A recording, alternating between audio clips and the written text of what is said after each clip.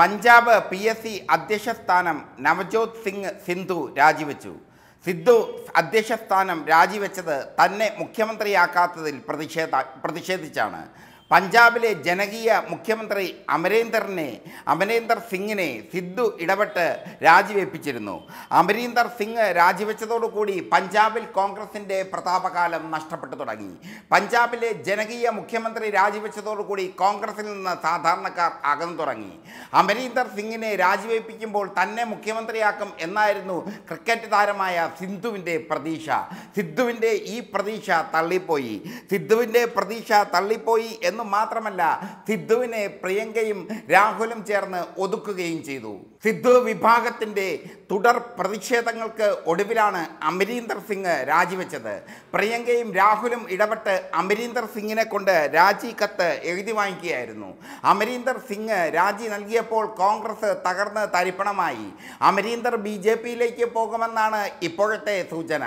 അതേസമയം അമരീന്ദർ രാജിവെച്ചപ്പോൾ തന്നെ മുഖ്യമന്ത്രിയാക്കാൻ വേണ്ടി സിദ്ധു നടത്തിയ നടപടികൾ സിദ്ധു നടത്തിയ കുതന്ത്രങ്ങൾ പ്രിയങ്കയുടെയും രാഹുലിന്റെയും എതിർപ്പിന് ഇടയാക്കി. ഇതാണ് സിദ്ധുവിന് തിരിച്ചടിയായത്. ശരൺജിത്ത് സിംഗ് ചന്നിയെയാണ് ഹൈക്കമാൻഡ് മുഖ്യമന്ത്രിയായി തിരഞ്ഞെടുത്തത്. ഇതോടുകൂടി സിദ്ധുവിന്റെ പദ്ധതികൾ ആകെപ്പാളി പണ്ട് ക്രിക്കറ്റിൽ നല്ല ബാറ്റ്സ്മാൻ ആയിരുന്നു സിദ്ധു. അതിമനോഹരമായി ബാറ്റ് ചെയ്യാൻ സിദ്ധുവിന് കഴിയുമായിരുന്നു. പ്രതിസന്ധി ഘട്ടങ്ങളിൽ ഇന്ത്യൻ ടീമിനെ ഇന്ത്യൻ ക്രിക്കറ്റ് ടീമിനെ രക്ഷിച്ചിരുന്നത് സിദ്ധു ആയിരുന്നു. പഞ്ചാബിലും സിദ്ധു തിളങ്ങുന്ന താരമായിരുന്നു ആദ്യഘട്ടങ്ങളിൽ. സിദ്ധുവിന്റെ പ്രസംഗങ്ങൾക്ക് വലിയ മാർക്കറ്റായിരുന്നു. തമാശയുടെ മേമ്പൊടി ചേർത്തുകൊണ്ട് സിദ്ധു കത്തിക്കയറുമ്പോൾ കയ്യടികൾ ലഭിക്കുമായിരുന്നു. എന്നാൽ ജനകീയൻ അമരീന്ദർ തന്നെയായിരുന്നു. അമരീന്ദർ സിംഗും സിദ്ധുവും തമ്മിലുള്ള പടലപ്പിണക്കം തുടങ്ങിയിട്ട് കാലമേറെയായി. അമരീന്ദർ സിംഗിനെ മുഖ്യമന്ത്രിയായി വാഴിച്ചത് മുതൽ സിദ്ധു പടലപ്പിണക്കം ആരംഭിച്ചിരുന്നു.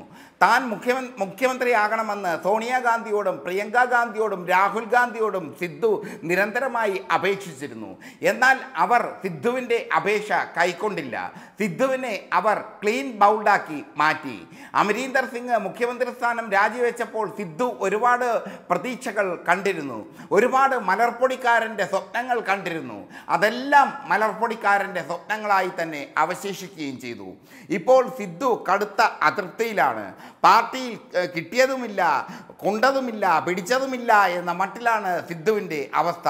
കോൺഗ്രസ് ആകട്ടെ മറ്റൊരാളെ മുഖ്യമന്ത്രി സ്ഥാനാർത്ഥിയായി കണ്ടു കഴിഞ്ഞു അയാളെ മുഖ്യമന്ത്രിയായി വാഴിച്ചു കഴിഞ്ഞു. ഇതോടെ ഒരു കാര്യം സിദ്ധുവിന് കോൺഗ്രസ് മുന്നറിയിപ്പ് നൽകി. സിദ്ധുവിന്റെ തന്നിഷ്ടം സിദ്ധുവിന്റെ വെസ്റ്റേൺ ഇൻട്രസ്റ്റ് കോൺഗ്രസിൽ നടക്കില്ല. ഇതേ തുടർന്നാണ് പി സി സി അധ്യക്ഷ സ്ഥാനം സിദ്ധു രാജിവെച്ചത്.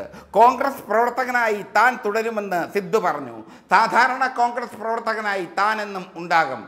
താൻ ബി ജെ പിയിലേക്കോ അകാലിദളിലേക്കോ ഒന്നും ചേക്കേറില്ല. മറ്റു പാർട്ടികളിലേക്ക് താൻ പോകില്ല. ജനങ്ങൾക്കിടയിൽ കോൺഗ്രസിന്റെ ഉയർ കൊടി ഉയർത്തി പിടിച്ചുകൊണ്ട് താൻ പ്രവർത്തിക്കും. ഇതാണ് സിദ്ധു പറഞ്ഞിരിക്കുന്നത്. സിദ്ധു പി എസ് സി അധ്യക്ഷ സ്ഥാനം രാജിവെച്ചപ്പോൾ സിദ്ധുവിനെ ആ രാജിയിൽ നിന്ന് ഒഴിവാക്കാൻ പ്രിയങ്കയും രാഹുലും വലിയ ശ്രമങ്ങളൊന്നും നടത്തിയില്ല എന്നതും ശ്രദ്ധേയമാണ്.